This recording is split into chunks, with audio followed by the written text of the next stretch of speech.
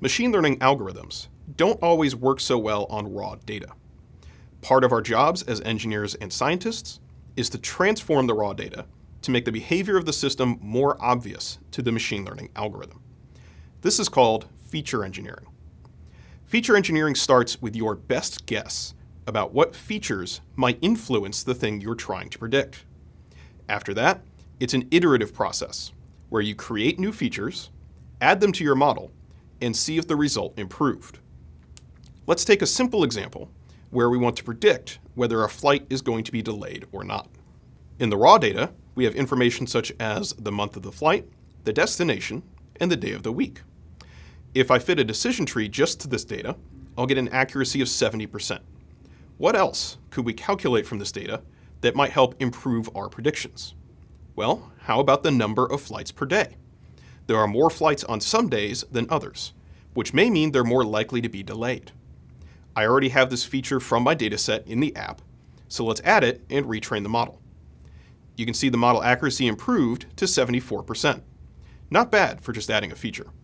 Feature engineering is often referred to as a creative process, more of an art than a science. There's no correct way to do it, but if you have domain expertise and a solid understanding of the data, you'll be in a good position to perform feature engineering. As you'll see later, techniques used for feature engineering are things you may already be familiar with, but you might not have thought about them in this context before. Let's see another example that's a bit more interesting. Here, we're trying to predict whether a heart is behaving normally or abnormally by classifying the sounds it makes. The sounds come in the form of audio signals. Rather than training on the raw signals, we can engineer features and then use those values to train a model. Recently, deep learning approaches are becoming popular as they require less manual feature engineering. Instead, the features are learned as part of the training process. While this has often shown very promising results, deep learning models require more data, take longer to train, and the resulting model is typically less interpretable than if you were to manually engineer the features. The features we use to classify heart sounds come from the signal processing field. We calculated things such as skewness, kurtosis, and dominant frequencies. These calculations extract characteristics that make it easier for the model to distinguish between an abnormal heart sound and a normal one.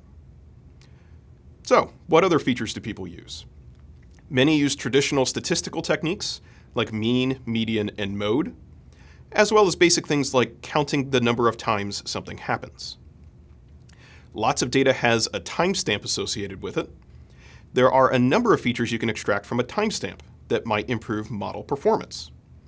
What was the month, or day of week, or hour of the day? Was it a weekend or a holiday? Such features play a big role in determining human behavior. For example, if you were trying to predict how much electricity people use. Another class of feature engineering has to do with text data.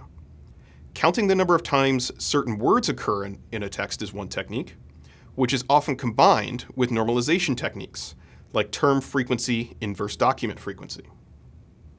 Word2vec, in which words are converted to a high-dimensional vector representation, is another popular feature engineering technique for text. The last class of techniques I'll talk about has to do with images. Images contain lots of information, so you often need to extract the important parts.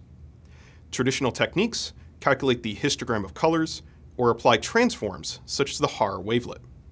More recently, researchers have started using convolutional neural networks to extract features from images. Depending on the type of data you're working with, it may make sense to use a variety of the techniques we've discussed. Feature engineering is a trial and error process. The only way to know if a feature is any good is to add it to a model and check if it improves the results. To wrap up, that was a brief explanation of feature engineering. We have many more examples on our site, so check them out.